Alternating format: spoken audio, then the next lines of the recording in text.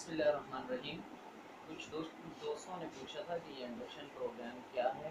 یا اس کی نیٹیبلٹیز کیا ہیں؟ اس میں کیا کچھ انکلوڈ ہوگا؟ یہ کتنے عرصے کا پروگرام ہوگا؟ کن ٹیچرس کے لیے ہوگا؟ اور اس میں یہ بلینڈڈ لرننگ کیا ہے؟ ایل ایم ایس کیا ہے؟ تو اس پہ تھوڑی سی وضاحت کرنے کے لیے تھوڑا سا کچھ آئیڈیا جو میں چاہتا ہوں کہ میں اپنے دوستوں کے ساتھ شیئر کروں، تو وہ میں ریکارڈ کر رہا ہوں۔ انڈکشن پروگرام میں بنیادی طور پہ ہم ٹیچرس کو ٹیچنگ اسکل بھی دے رہے ہیں، ساتھ ساتھ ہم ان کو کنٹینٹ نالج بھی دے رہے ہیں۔ تو ان کو بلینڈڈ لرننگ کا آئیڈیا فورٹ نائٹ ان کا ٹیچر کے ساتھ انٹریکشن ہوگا۔ اس میں کیا کیا مٹیریل شیئر ہوں گے؟ تو یہ چیزیں بھی ہم ڈسکس کر رہے ہیں۔ ایل ایم ایس اور کریکولم کے حوالے سے بھی اس میں باتیں ہیں۔ کریکولم ٹو تھاؤزنڈ سکس اور ہینڈز آن ایکٹیویٹیز وغیرہ roles and responsibilities of teachers یہ ساری چیزیں اس میں انکلوڈ ہیں۔ تو یہ ایک بہت کمپریہنسو قسم کا کورس ہے۔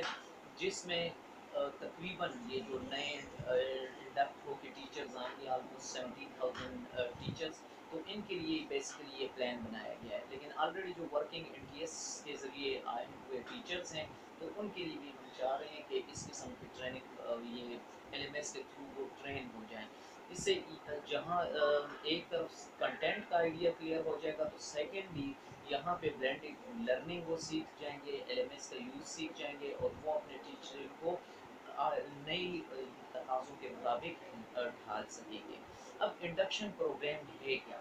یہ ایکچولی ایک انٹینس کورس ہے۔ جیسے کہ آپ جانتے ہیں کہ گورنمنٹ کی پالیسی تھوڑی سی چینج ہو گئی ہے۔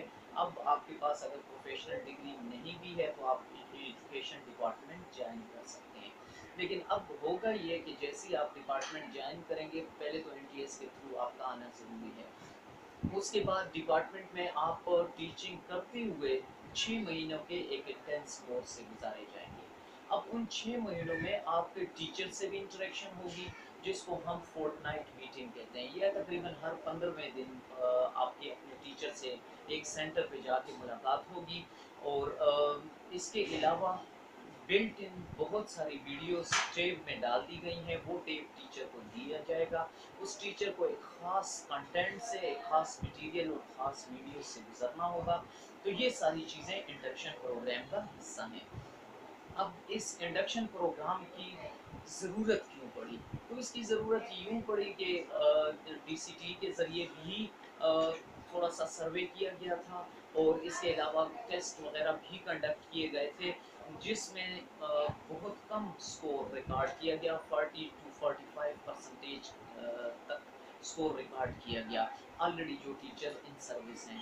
تو ڈیفیشنسی فیل کی گئی کہ ٹیچرس کا بعض کنٹینٹ ایریا ہارڈ ایریاز بن رہے ہیں، بعض جگہوں پہ میتھڈالوجی ایک پرابلم بن رہی ہے، تو یہ ضروری سمجھا گیا اور نئے جو چونکہ کریکولم آ چکا ہے ٹو تھاؤزنڈ سکس کے بیس پہ، اب اسسمنٹ جو ہے، وہ بھی ایس ایل او بیس بن چکی ہے۔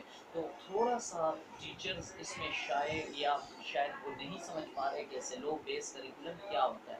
تو اس کو سمجھنے کے لیے ایس ایل او بیس یہ کنٹینٹ بھی سلیکٹ کیا گیا ہے اور ویڈیوز بھی ایس ایل او بیس اٹھائی گئی ہیں۔